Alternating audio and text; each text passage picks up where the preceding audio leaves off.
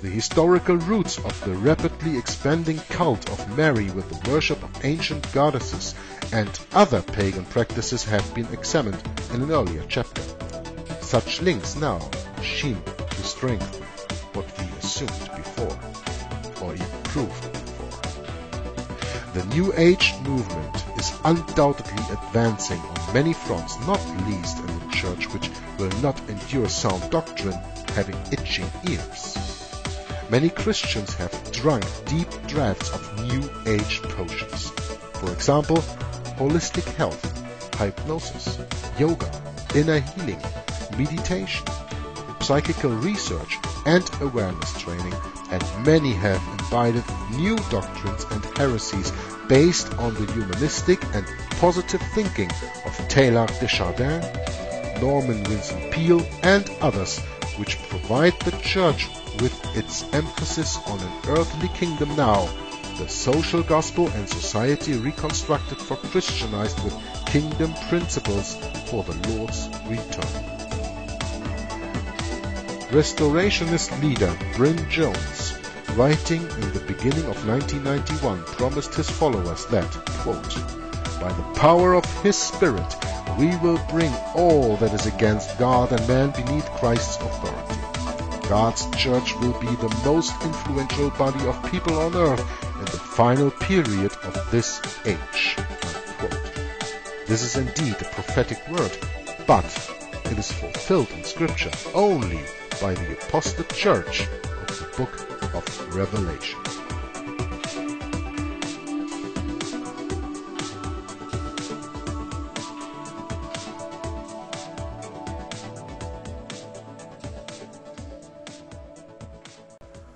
Hello and welcome everybody to a new video from Joggler66, Hour of the Truth. This one's called The Pace of Ecumenical Process and deals, as you probably already know and can see by the name of the chapter of the of the video, it deals with chapter 7 of the book All Roads Lead to Rome by Michael de Semlyen, which is all about the ecumenical movement and this is called the pace of ecumenical progress. There are so many things that I think about when reading this book that I don't understand in the light of the Bible. And I probably will do here and there a little comment on that while I'm going along reading this chapter 17. But the only thing that I want to say right for the moment at this Second is that I do not understand anybody who is taking part in this ecumenical process and who calls himself a Protestant when a Protestant is also defined as being someone who holds up the Bible and the Bible only, sola scriptura the whole ecumenical movement as we have learned so far and as we will surely learn reading this chapter 17 of the book is nothing else but compromise compromise traditions. But okay let's not go too far away here and let's see where we end reading chapter 17 the pace of ecumenical progress on page 177 if you follow in your copy of your own book if the alarmists have it right, time is short. With the eyes of the Church of England on the very emotive but essentially secondary issue of the ordination of women, and the 1988 Lambeth Conference voted almost anonymously to confirm the Swanwick Declaration of the previous year and to abandon the Reformation and its solid foundations of faith. Yeah. What did I, what did I just say in the uh, in the beginning of this video to abandon the Reformation and its solid foundations of faith. That's what the whole book actually, what the whole ecumenical movement actually is all about. Abandon the Reformation and its solid foundations of faith. The ecumenical movement is led by the Jesuit order the Roman papal order that was ordained by Pope Paul III in 1540 under the name Regimini Militantis Ecclesiae, a military order under the directive of a general, the superior general of the order. And that was formed to counter Reformation, to counter the Reformation. So, and we read here, to abandon the Reformation and its solid foundations of faith. Exactly. That's what's it all about. Now 1988 with all its anniversaries, well, the anniversaries of 1588 and the anniversaries of 1688 remind you, reminding us of our great biblical heritage and of God's grace in preserving the nation from the tyranny of false religion may well prove ironically to have been the year of decision for Protestantism and the Reformation in England. Steps toward union of the Anglican and Roman churches would follow very quickly now, although with such a wholehearted consensus among Anglican leaders, the Vatican is understandably quote-unquote playing hard to get and looking for a final agreement closer to its unchanging view. The unchanging view of Rome. Rome never changes. Agreement at the top cannot proceed faster than the consensus at the grassroots. Archbishop Runcie's acquiescence to the concept of papal supremacy and the enthusiastic announcement in Rome in September 1989 of the quote unquote engagement of the two churches with an intent to marriage brought a shocked reaction from many in both church and nation. There needs to be a pause at the national level. So Archbishop Runcie announced a engagement between the Anglican Church and the Roman Catholic Church. And an engagement is a promise to marry, right? There at least it sent some shocks, uh, some shock reactions, well, from the Anglican Church and from the nation. That's in 1989. And what is it today? Are there still shocks being sent through the church and through the nation? Well, there is no such pause at the local level. There, with the interchurch process and the decade of evangelism in full swing, the pace of ecumenical progress is breathtaking. Local covenants are being pledged and even signed all over the country with the Roman Catholic Church. Such covenants are contrary to the strong warning of Scripture. Quote, but above all things, my brethren, swear not, neither by heaven, neither by the earth, neither by any other oath, but let your yea be yea, and your nay nay, lest ye fall into condemnation. Unquote. James chapter 5, verse 12. A major instance was the signing of the Covenant for the Coalition of, on Revival in Washington, D.C in July 1986. The commitment to unity signed by such as Bob Mumford, John Wimber, and reconstru Reconstructionists Gary North and R.J. Rushdoony provides for a non-quarreling policy regarding doctrine and declared principles of church leaders and thousands of congregations across America. A similar non-quarreling policy guide is provided on, uh, for the major conferences of the International Charismatic Consultation on World Evangelization, including Brighton 91. In towns like Coventry, Winchester and Guildford, Churches Together has united the great majority of the nation's churches for ecumenical covenants, special events, exchanges of preachers, services of mutual commitment, ecumenical missions, and various youth activities. The sharing of churches by Anglicans and Roman Catholics, which has been going on for a number of years, has been given fresh impetus by the interchurch process. Respected Christian organizations such as Scripture Union, and United Bible Society have linked their names with the ecumenical instrument and involved themselves in ecumenical mission with the decade of evangelism and the decade of evangelization. Now, can I ask a question here to my dear listeners? Respected Christian organizations such as Scripture Union and United Bible Society have linked their names with ecumenical instrument with the ecumenical instrument and involved themselves in ecumenical mission within the decade of evangelism and decade of evangelization. So what's my question? When those are so-called quote-unquote respected Christian organizations like Scripture Union and United Bible Society, how can these organizations be partakers of a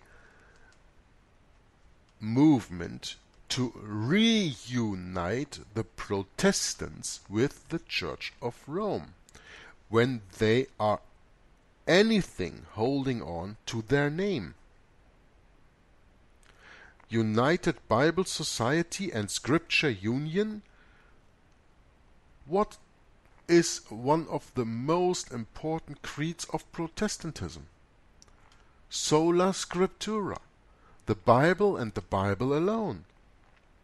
And these organizations call themselves Scripture Union and United Bible Society, and they link their names with ecumenical uh, with the ecumenical instrument. How true are they to their name? How true are they to Scripture? That's a question I have to ask. You have to understand when you read a book like this that, that deals all the time with the ecumenical movement, that deals all the time with nothing else but to reunite the so-called, as they say from Vatican II on, separated brethren, which used to be heretics. To reunite those with the so-called Mother Church, the Universal Church, the Roman Catholic Church, the only church out of out of which there is no other salvation in the world, as the Pope says.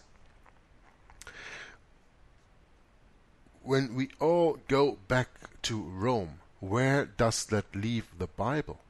When the Roman Catholic Church actually says that her gospel is not the Bible alone, but the Bible and tradition. And tradition is what man made. It's not something that God made. So my question is how can anybody who calls himself a Protestant and acts under the credo, under the creed of sola scriptura, be a part of an organization called itself Scripture Union and United Bible Society when these societies are crawling back to Rome. Something I just don't get.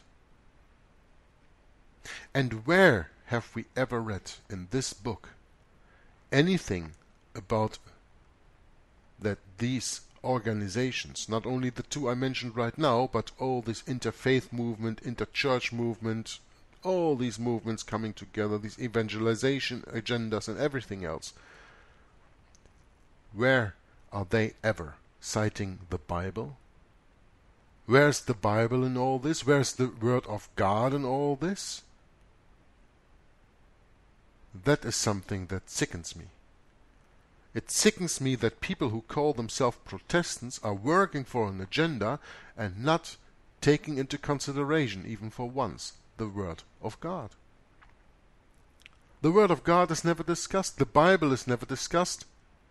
It's only about differences between men, differences between organizations, but never talking about the Word of God and how that fits it in, in all together.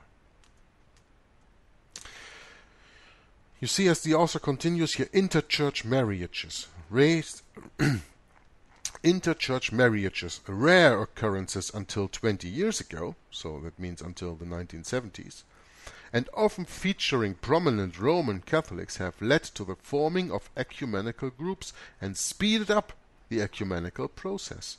Again, what does the Bible say about those things?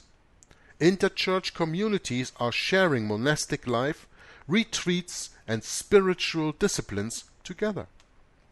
Pilgrimages to well publicized ecumenical communities like Taizé and France gain recognition in all quarters of the church. What does the Bible say about pilgrimages? Traveling to places of dead people, venerating the dead. What does the Bible say about that? Now this is very interesting. Milton Keynes, which styles itself, quote, the UK's first ecumenical city, unquote, appointed the nation's first ecumenical moderator on January 1, 1991. Baptist minister Hugh Cross, previously ecumenical officer for England, became an ecumenical bishop in all but name. The first ecumenical city built the first ecumenical church. Christ the Cornerstone, it is called. It is a three million pound doomed edifice of cathedral proportions, which was dedicated by Her Majesty the Queen on March 13th, 1992. Quote, May this church in Milton Keynes be a pledge of our common commitment, a signpost to an increasingly shared future and a beacon of hope for the whole community, said Roman Catholic Primate Cardinal Hume at the service of dedication. This would simply never have occurred to previous generations and demonstrates how far we are now committed to the work of Christian unity. Unquote. The sermon preached to the Queen by a cardinal was another religious landmark, and again in breach of the sovereign's accession oath, you know, the royal declaration, the first sermon preached by a Roman Catholic to a reigning monarch since the 17th century, since the Glorious Revolution of 1688, which was like the Spanish Armada in 1588, one of the reasons that the book started with 1988 and all its anniversaries reminding us of our great biblical heritage. 1988, 200 years of the glorious revolution of 1688, or 300 years, sorry, and 400 years of 1588 of the Spanish Armada attack. That God intervened and made fail by his intervention. This sermon preached to the Queen by the Cardinal was another religious landmark, the first sermon preached by a Roman Catholic to a reigning monarch since the 17th century. So when there's a Roman Catholic priest, in this case a bishop, or cardinal, sorry, cardinal, even worse when there's a Roman Catholic cardinal preaching a sermon to the so-called Protestant Queen of England. How Protestant are they really? Remember that from the royal declaration you are missing the words mental reservation as I read to you from the Roman Catholic Encyclopedia. Go back to that reading if you don't understand. Anyway, the next part of the chapter is called Semper Eadem, or a new ecumenical flexibility. Semper Eadem stands for never changing. With such a cooperation and commitment being brought to bear, it is instructive to re-examine the basis for the new togetherness and its heady prospects of bringing the gospel to all nations. A new togetherness, yeah.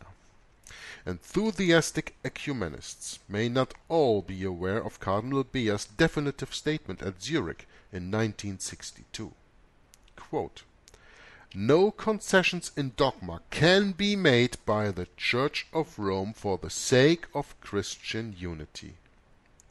But pronouncements in many other areas, as the forthcoming Ecumenical Council Vatican II should make efforts towards unity easier. Unquote. I'm going to read this once again, that you understand it very well. Cardinal Bea of the Roman Catholic Church states in 1962 no concessions in dogma can be made by the Church for the sake of Christian unity. What does that tell you? That tells you that Rome never changes. It always asks change from the others. This is a confirmation of everything we've read so far, everything I've ever said on Hour of the Truth, everything I ever said in all my other broadcasts. Rome never changes. No concessions in dogma can be made by the Church for the sake of Christian unity. So the only one who has to make concessions in dogma are the Protestants. And what is that? Well, the problem that I addressed earlier in this reading giving up the Bible as their standard, giving up the Bible as their conscience, giving up the Word of God as their conscience. Freedom of conscience is what the Pope absolutely does not agree with because he is the conscience of everyone. He is to judge every man and not to be judged by any man. That is Roman Catholic dogma, and Cardinal Bea says no concessions in dogma can be made by the Church for the sake of Christian unity. No! It is black or white. It is not gray for the Roman Catholic Church. So it should be for the Protestants. Black or white. White or black. Jesus or the devil, the truth or the lie, the holy or the profane, and not mixing the one with the other. The Roman Catholic Church stands on absolutes, black and white, because Rome never changes, and that's exactly the same we Protestants should do. Never change. Never give in, never compromise the Word of God for the sake of Christian unity. That's what we should do too.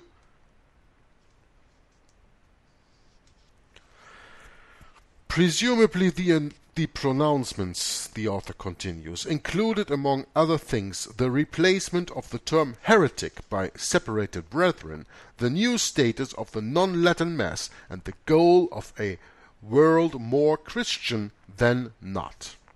Hmm. Yeah, those are the changes that the Roman Catholic Church did, right? She, she changed the term heretic to separated brethren. She changed the term. Did she change the policy against those people? I don't think so, because the Inquisition is still there, isn't it? It is called the Congregation of the Faith, but it's still there. The new status of the non-Latin Mass, okay, the Mass is now spoken even in the vulgar language, but the content of what is spoken in the Mass is the same. The Roman Church's pronouncement in many other areas facilitating the new grand strategy of ecumenical unity represent a major departure from the historic rigidities of the faith. This unprecedented flexibility in matters of faith and practice signals the determination of the Vatican to follow through on the strategy. For example, recruitment to the priesthood has been a problem in recent years. Yeah, I guess so. One reason certainly is that in a world of so many diversions and so many temptation, so much temptation, those who sincerely opt for celibacy are far less in evidence. Certainly there are increasing numbers of priests leaving the ministry in order to get married. In recognition of this, the Vatican has set in motion what has been termed, quote, a quiet revolution, unquote. Married priests, mainly former Anglicans, have been ordained and permitted to take Mass, both in the United Kingdom and in the United States of America, with the approval of the Pope. Quote, Pastoral provision, unquote, has been established by which they could enter the church, and the validity of Anglican orders has not proved to be an obstacle. There are now married parish priests and curates working in parishes. Here we see the actual outworking of the policy of facing both ways at the same time. Like the god Janus, a two-faced god, eh? The official line is that the Pope still holds rigorously to a rule of celibacy for his ministers, and married priests will only be used in unique situations and as individual concessions, which have quote no relevance to the broader debate within the Catholic Church. And I tell you, those liberal movements are the first to be persecuted by Rome when she has the upper hand, as always. Another answer to what is recognized uh, to what is a recognized problem of dwindling numbers may have been found the, uh, for the closing years of the millennium in the decade of evangelization and a new post-synodal apostolic exhortation of the Pope. Quote, dearth of priests means birth of laity, unquote, and green light for laity were two of the leader items in the Catholic Herald on uh, of 3rd of February 1989. The editorial describes the Pope's apostolic exhortation, released that week, Christi Fideles Laici, means the lay members of Christ's faithful, as, quote, uniting as never before the efforts of clergy and laity in sanctifying the world. Unquote. Evangelization 2000, which focuses the enthusiasm and drive of large numbers of committed Catholic laity, undoubtedly will help to resolve the problem. Now the next part we come to is called the ordination of women. Because, you know, like we just read, the Roman Catholic Church has a problem of getting enough priests. So, first they tone down and give another direction to the celibacy, and that former Anglican pastors, I call them, to make a distinction with Roman Catholic priests, that former Anglican pastors who have been married and converted to Catholicism can stay married and actually fulfill the office of a Roman Catholic priest, of a Roman Catholic priest. So that's one way, as we just read. The next way is the ordination of women, which actually should not be so surprising, because we know that Rome has its roots in Babylon, and in Babylon there was Semiramis, who was a high priestess. Hmm? Just something to put in the back of your mind while we're reading about the ordination of women here. Without question, the decision in November 1992 of the Church of England's Synod to ordain women priests appears to present an insuperable obstacle to Anglican unity with Rome. Yet, with the rapidly changing attitudes in the world, this issue, already dividing Catholics, could well become subject to the new ecumenical flexibility that has evolved out of Vatican II. how well entrenched in church dogma will it prove to be? The recent tolerance displayed towards celibacy and married priests perhaps points the way to a major change in the not too distant future. We go to a little footnote here that in the United States a major policy statement prepared for Catholic bishops affirming Roman Catholic policy on women's issues was given only 55.5% support, well short of the two-thirds needed for approval. The upshot is that the US bishops have made women's ordination subject to continuing debate, as we can read in Time magazine on 30th of November 1992. The upshot is that US bishops have made women's ordination subject to continuing debate. So, they will see if there's any way to compromise, right? Now, in fact, there are precedents for women priests within the Roman Catholic tradition. Ah, yeah? In pre-Reformation times, both Saint Bridget of Kildare and Theodora of Smyrna were priests, and both actually performed the role of a bishop. And not to forget the Pope that was a woman, as I read to you in Babylon Mystery Religion. You can look that up for yourself. There once was a Pope who was a woman. Yep. Look it up for yourself. It's quite interesting. Now, Cardinal Fiaich, the late primate of all Ireland, observed in January 1989 that, quote, he would not be surprised if at some future stage the Roman Church had woman priests. I must admit that if Rome decided in the morning that women were to be admitted to the priesthood, it wouldn't cause me the slightest difficulty. Unquote from the Catholic Herald publication 3rd of February 1989. This cardinal says it would not cause him the slightest difficulty. Certainly the Roman Catholic Church has need of more priests. However, many Anglican traditionalists, traditionalists having lost their battle against woman priests within the Church of England, under the banner of cost of conscience, are organizing themselves to continue the struggle elsewhere. Large numbers of them, led by former Bishop of London Graham Leonard, are looking, in his words, to quote, approach Rome as suppliants and without presumption, asking if a way could be found somehow to preserve our Anglican identity while being in communion with the See of St. Peter. Unquote.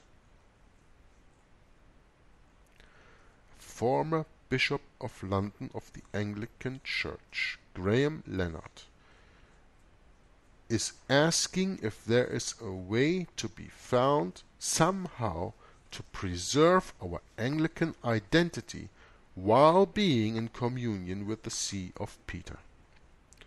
What should the answer to that be?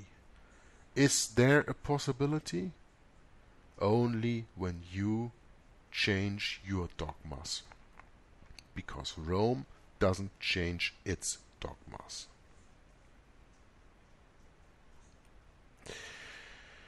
Bishop Leonard has suggested a papal quote-unquote personal prelature, a special privilege granted so far only to Opus Dei. As the traditionalists depart Romeward, the victorious liberals in the Church of England are likely to press ahead with other progressive legislation favoring or at last or at least tolerating abortion, sodomy, and probably adultery. I'm going to read this again. As the traditionalists depart Romeward, back to Mama. The victorious liberals in the Church of England are likely to press ahead with other progressive legislation favoring or at least tolerating abortion, sodomy, and probably adultery. Of course, the book does not read sodomy, the book reads homosexuality. LGBT movement today. But I read sodomy because the Bible speaks of sodomy and I do not compromise the Word of God for a new word of so called homosexuality. This is a very, very, very important sentence. I hope that you, my listeners, understand this. As the traditionalists depart Romeward, because they are building on tradition, like Rome does, the victorious liberals in the Church of England are likely to press ahead with other progressive legislation favoring or at least tolerating abortion, sodomy, and probably adultery. Now we are living in 2016, and what do you see in the churches? Tolerating abortion, tolerating sodomy, and probably adultery. I guess the steps have been made in the meantime between 1992, what we are reading about here, and 2016, when we listen to this book reading. Meanwhile, the Church of Rome, joined by Anglicans who refused to compromise, it seemed to tighten up its moral stance with the new catechism issued in 1992. The Church of England continues to disintegrate as Rome looks to be uh, uh, as Rome looks to the world ever more like the real church in this land, England, the United Kingdom. The Church of England continues to disintegrate as Rome looks to the world ever more like the real church in this land. Of course, it seems that there is more Catholicism in England than there is Protestantism because the Protestants give up their dogmas. Now, on papal primacy on page 182, the author continues. The other theological issue which seems to be a roadblock to the reunification of the British Church is papal primacy. Before Archbishop of Canterbury Robert Runcie visited the Pope in Rome in September 1989, he was quoted as saying, listen closely, quote, Anglicans are beginning to recognize and receive with favor a model of papal supremacy as a blueprint for unity with Roman Catholics. Unquote. Dr. Runcie's statement and the visit was greeted by a skeptical and in part hostile press reaction. However, however, significantly, it opened up a national debate about church, crown, and constitution in a way never experienced before. The once unmentionable is now open to public discussion. The sacrosanct is no longer sacred. We have now the beginning of a progress of re-education, dealing with the differences and difficulties of reconciling Lambeth and Rome, Protestant and Roman Catholic, papal primacy and the monarchy. Impossibility soon becomes difficulty, and irrecon uh, irreconcilable is reconciled. The radical shift in public opinion over close to home moral issues such as sodomy, adultery, and abortion, all forbidden in the Bible, illustrates the soft backbone of public opinion a monarch particularly sympathetic towards Roman Catholicism and an expedient government committed to European federalism would no doubt overcome the remaining difficulties. Now I guess you know why Queen Elizabeth II holds on to her throne this long because they need a monarch particularly sympathetic towards Roman Catholicism more than Queen Elizabeth has already been. And I think this is why she still reigns in 2016.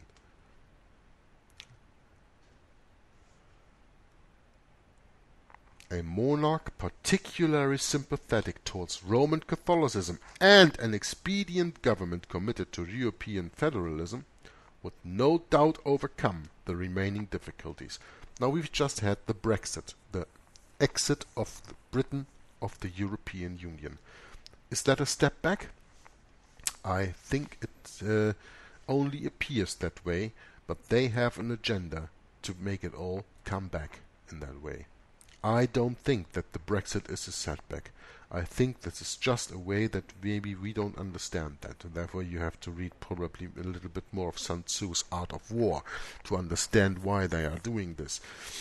But a monarch particularly sympathetic towards Roman Catholicism is being raised in uh, England right now and uh, a government committed to European federalism would no doubt overcome the remaining difficulties. Yeah, that's true. But now with the Brexit, this is just the other way around. I think we will see interesting times in that what Great Britain does politically with the European Union in the next few years. Now, according to the front page leader in the Sunday Times of the 21st of January 1990, that newspaper's poll conducted a bare three months later uh, three months after all the attention given to concerns about papal primacy showed that nearly half the people in Britain think that the law should be changed to allow the king or queen to be Roman Catholic. Yeah? Is that true? Nearly half the people in Britain think that? Well, that is what they publish in their newspaper. That doesn't have to be that way. They tell you that it is that way. And they say, oh, okay, or the majority already agrees that the king or queen could be a Roman Catholic. Oh, uh, the majority thinks that that's all right, eh? Because the majority is always right. And we have to follow the majority.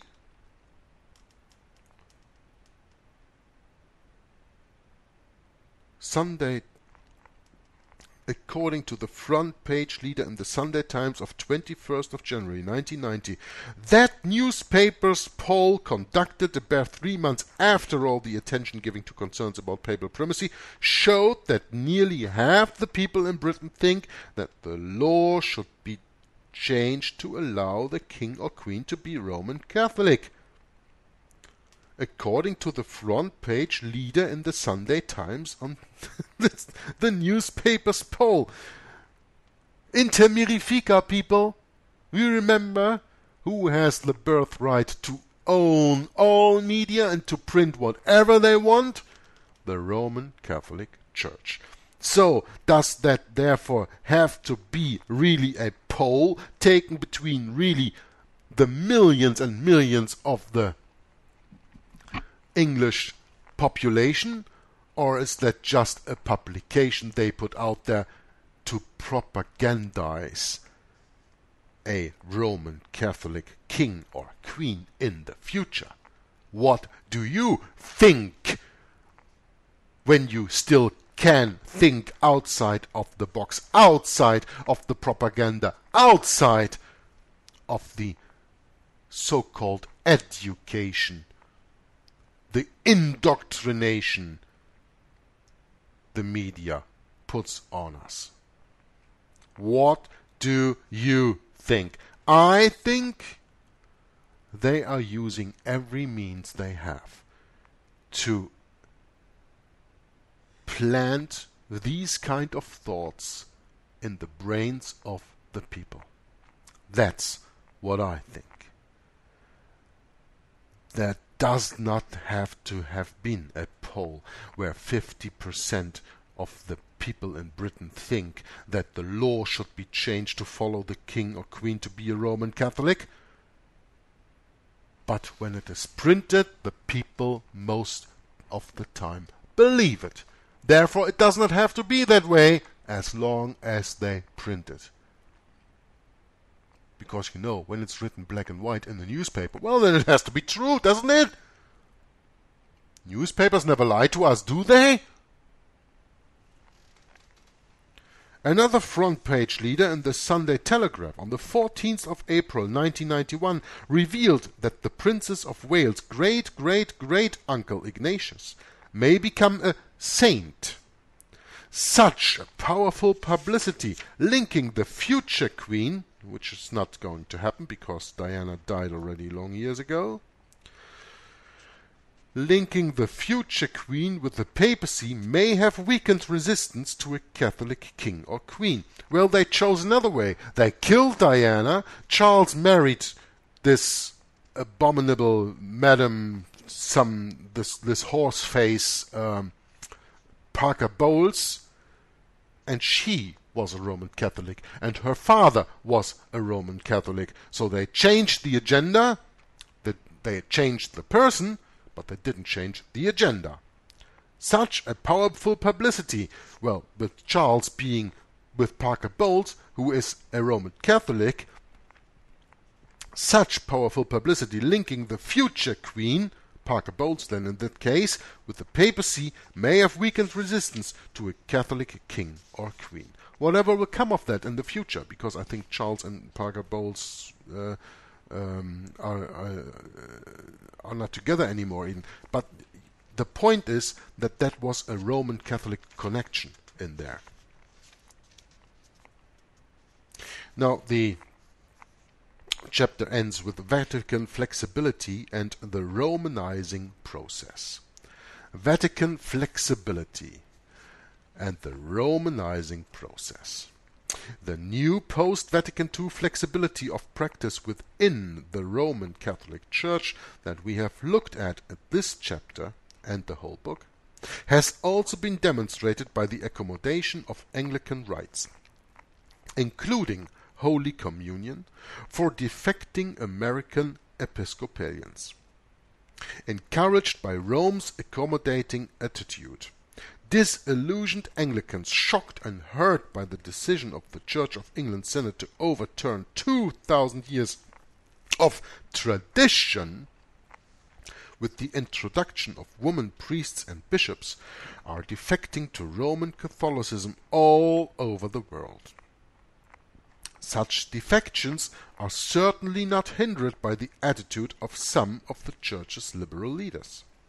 Richard Harries, Bishop of Oxford, described a local priest's move to the Roman Catholic Church as, quote, not a defection, but an opportunity to serve in another part of God's family.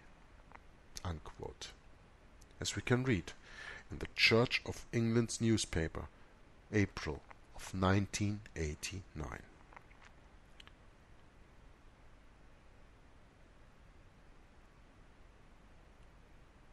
Richard Harries described a local priest's move to the Roman Catholic Church as not a defection but an opportunity to serve in another part of God's family. I wanted to make a little comment already some time ago in this video. I've looked over it that you have to check my very first broadcast on Hour of the Truth, where I dealt with the Catholic Lutheran Accord in three parts. And the first part of Hour of the Truth was the first part of that. Together with Tom Friess, we analyzed a paper that Richard Bennett put together on the joint declaration of the doctrine of justification. That's because that deals a little bit with what happens after the writing of this book on Reformation Day 1999, so the 31st of October 1999, the Lutheran Worldwide Congregation signed a paper of a joint declaration on the doctrine of justification with the Roman Catholic Church. They were crawling back to Mama. And 2004, five years later, the Methodist Church did the same thing. And what was in this joint declaration of the doctrine of justification, a joint declaration by the Lutherans and the Roman Catholic Church, will be analyzed, or was analyzed by Tom Friess from Inquisition Update and me. An Hour of the Truth, the Catholic Lutheran Accord, Parts 1, 2, and 3. Please watch this. In the light of the reading of this book, it is absolutely imperative that you understand that. And today, when I'm reading this, is the 23rd of October 2016, so only eight days until we have Reformation Day 2016, which is only one year short of the 500th anniversary of Luther nailing his 95 Theses to the church at Wittenberg, church door at Wittenberg. And then we already have had 18 years of the joint declaration of the doctrine of justification. 18 years before 2017, the 500th anniversary. 18. 1 plus 8 is not. 18 is that 3 times 6? 6, 6, 6. Do you think that there is maybe a reason why they signed that in 1999 with the Lutherans? Think about it.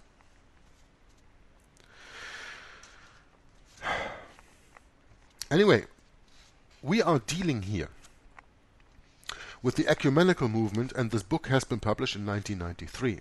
So they didn't know, of course, what happened in 1999. That's why I put this up, because there you see another step that the Protestants took into the direction of Rome. And that's why I think that is so important. I will put a link to the joint declaration of the doctrine of justification from the Vatican itself into the description box of the video. Open it up for yourself, read it for yourself, and if you cannot understand it, turn to the videos of Hour of the Truth, where Richard Bennett, a 22 year former priester of the Roman Catholic Church, analyzes that paper and tells you what it actually says, because it is, of course, full of casuistry and sophistry. But Richard Bennett is aware not only of the casuistry and sophistry in this paper, he is also in, in the position to understand the original Latin publication of this paper, because all these papers are first published in Latin, because that's the language of the Roman Catholic Church. and he can read the Latin and he can understand the Latin and he explained it. And that's why he made this paper. And that's why Tom and I analyzed that paper of Richard Bennett to try to tell the people what that joint declaration of the doctrine of justification is actually all about.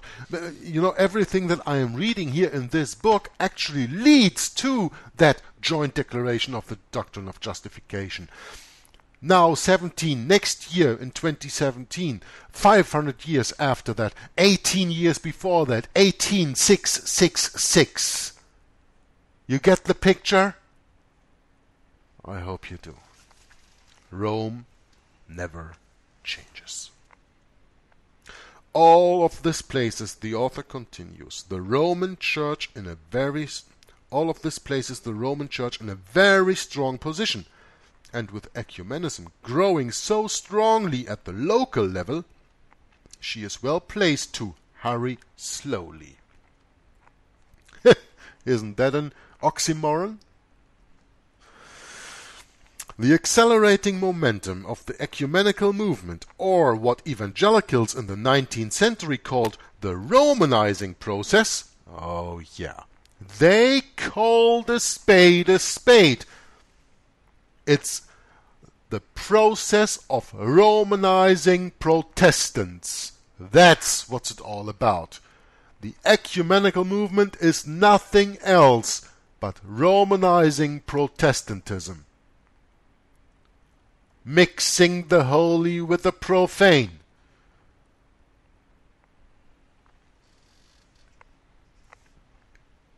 called the Romanizing process is reflected in the changing practices of local churches. The great majority of Church of England churches center their worship around the Eucharist, sometimes still called Holy Communion, rather than on the exposition of the Word of God. What did I say in the beginning? Where's the Word of God in all this? Wherever is the Bible mentioned in all this ecumenical movement? Right. The great majority of Church of England churches center their worship around the Eucharist, even though they sometimes still call it Holy Communion, rather than on the exposition of the Word of God. That's what our basis always should be the Word of God. The reserving of the sacrament is widespread in the Church of England, and its adoration is becoming increasingly common among evangelical churches.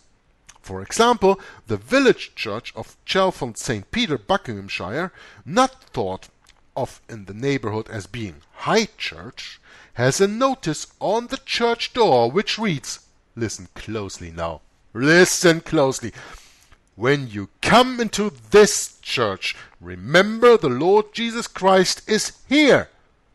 He is present and to be adored under the form of the Blessed Sacrament reserved for Holy Communion. Kneel down and worship Him. Unquote. The village church in Chalfont St. Peter in Buckinghamshire.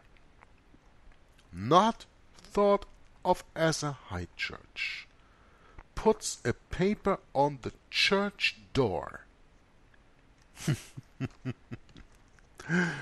where Martin Luther also nailed something on the church door that says, quote, When you come into this church, remember the Lord Jesus Christ is here. He is present and to be adored under the form of the Blessed Sacrament reserved for Holy Communion. Kneel down and worship Him. This is 100% Roman Catholic Eucharistic doctrine. The blood and flesh of Jesus Christ transformed into the bread and wine of the Eucharist during the Mass. Nothing has that to do with the so-called Holy Communion. When Jesus said, when you break this bread and drink this wine, this do in remembrance of me, that he didn't mean that that bread changes into his body and soul, divinity and flesh, and all humanity and divinity. No, no, no, no, no.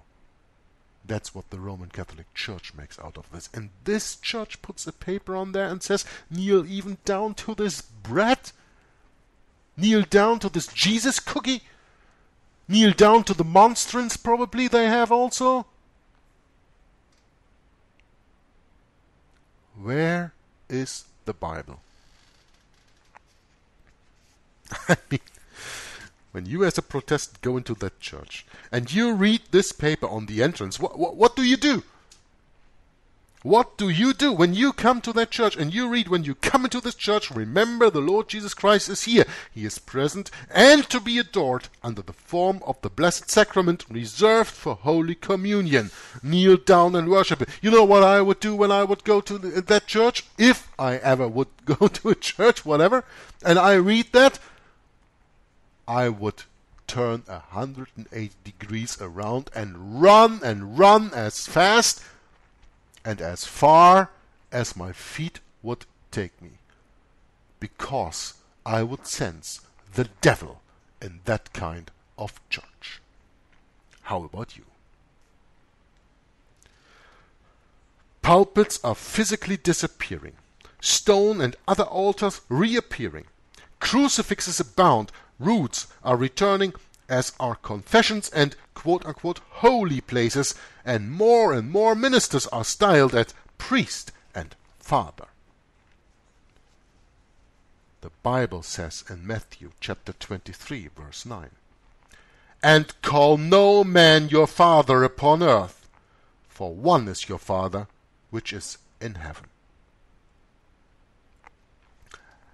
Mariolatry is no longer just the preserve of the High Church.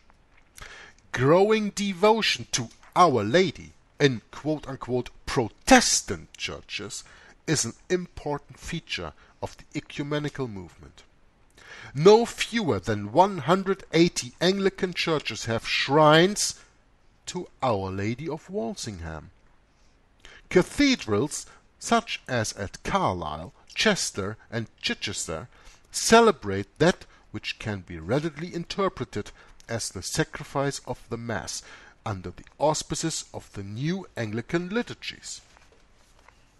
Interchurch and interfaith pilgrimages are organized in increasing numbers as devotees search for their pre-Reformation roots.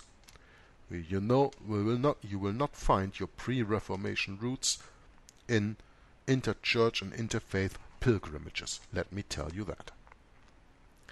The New Age movement is of course not left out, and Glastonbury, center of occult and pagan activity, attracts possibly the largest number of pilgrims. The 1988 ecumenical celebration mass for the millennium of the death of Anglican St. Dunstan in Glastonbury attracted a gathering of some 14,000 pilgrims, led by the Archbishop of Canterbury.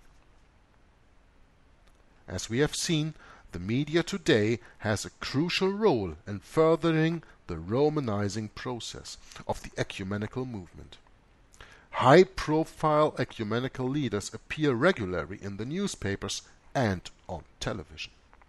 For example, Cardinal Worlock was prominent on the September 1988 BBC program Songs of Praise, which explored the ecumenical dimension of the Walsingham pilgrimage. He was he it was who presided over the sacrifice of the Mass at Liverpool Cathedral, which was specially networked to a shaken nation after the Hillsborough football disaster in 1989. Worlock and Anglican Bishop David Sheppard often referred affectionately in the press as Tweedledum and Tweedledee, have probably between them achieved more for the ecumenical cause than anyone else in the country. Bishop Sheppard, a former England cricket captain, and Archbishop Worlock blaze the trail for ecumenical covenants and are joint authors joint authors of a book called Better Together. Tweedledum and Tweedledee. Bishop Sheppard's great predecessors at the See of Liverpool, J. C. Ryle, who foresaw the success of Romanizing of the Romanizing process in this century, J. C. Ryle did not think that it is better together. He believed that his bishop's allegiance to the Church of England's Articles of Faith was not negotiable. Bishop Ryle did not make any compromise. The Articles of Faith of the Church of England are not negotiable. And that's what we true Protestants should do. Not negotiate with the so-called Holy See. Not negotiate with the Antichrist. Not negotiate with the devil, but expose him in every way and shape and form we can ever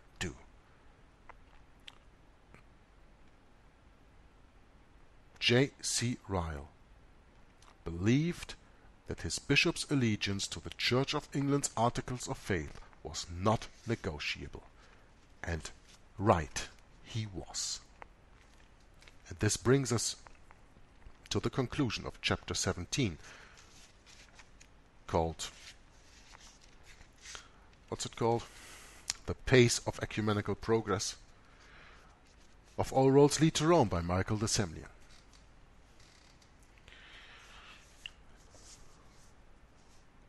The Word of God does not compromise, because the Word of God is truth. And it is the only truth that we have in this world. And we should hold on to this truth and not mingle it with lies. Because the moment that we do that, we have sold out. And for what? The only thing that we can do is lose our lives when we do that, not gain it. We will gain our life by accepting Jesus Christ and His teaching and the truth and the life and the light that He represents. Jesus Christ, who died on the cross for our sins 2,000 years ago, and who washed us clean, and who imputed us with righteousness if we accept Him as our Savior. Please go to the joint declaration of the doctrine of justification that I put the links into, into the description box of this video. Please go and watch the Hour of the Truth broadcasts 1, 2 and 3 of the Catholic Lutheran Accord to get a further, deeper understanding of everything that I read in this book and discussed with you in this book reading here. Chapter 17 is done and the next one will be chapter 18 which is called Peace and Evangelization 2000 and I'm very much looking forward to it because I really learned to love this book with every reading a little bit more. And I hope you can agree with me on that. That that is a wonderful book that when read with eyes open tells us where the majority of this world has gone wrong, has gone astray, has been committed, uh, has been committing adultery.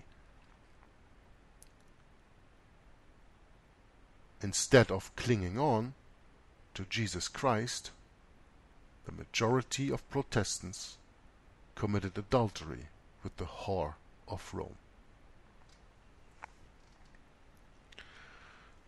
Thank you very much for watching and listening. Jogler66 signing off. Until next time, God bless you all and bye bye. We, as Bible believing Christians, we know that the hand that is behind ISIS, the hand that is behind Al Qaeda, is the same hand that is behind the United States of America government, that is behind the European Union government, and that is behind all the armies in the world, and that is behind all these um, mercenary companies out in the world, like XE, or formerly called Blackwater, run by Knights of Malta, etc., etc. So this is something that you really have to understand. This is all just a theater. And the point is, where is this theater going to lead to? When you are a Bible believing Christian, you know that in the end times, Jesus warned us in Matthew 24 there will be wars, wars, and rumors of wars. And we know that the Antichrist, by peace, will destroy many. And so on, and so on, and so on. I could start citing the whole Bible up and down right now with citations like this to tell you what it's all about. But I don't have to sing to the choir or preach to the choir. You, as Bible believing Christians, already know that. So the only thing that I ask of you is don't be caught in their game. Because when you are and you play their game, you have to play by their rules. And their rules are not Christ's rules. So the only thing that I can advise you of is, okay, take that information in what happens about there, pray for the people that these victims are being taken good care of and that they are just deceived people, that they maybe have a chance by going through this situation. Maybe they have a way to find to Christ in this way. Maybe they have a way to find to the real truth. I mean, these people are Muslims and coming from Muslim countries and coming to so-called quote-unquote Christian countries. Of course, the Roman Catholic Church is not Christian. Of course, the Protestant churches today don't preach any protest anymore. Alright, I know that. But still, here and there, it is possible that a grain falls on the ground that can fall on fruitful ground, even with these refugees and the whole situation that is coming up. And that is the hope that we should have as Bible believing Christians, and that is the prayer that we should use every day when we address our Lord to pray for our enemies as we pray for our friends. Because Jesus said, Love your enemies. and love your neighbor.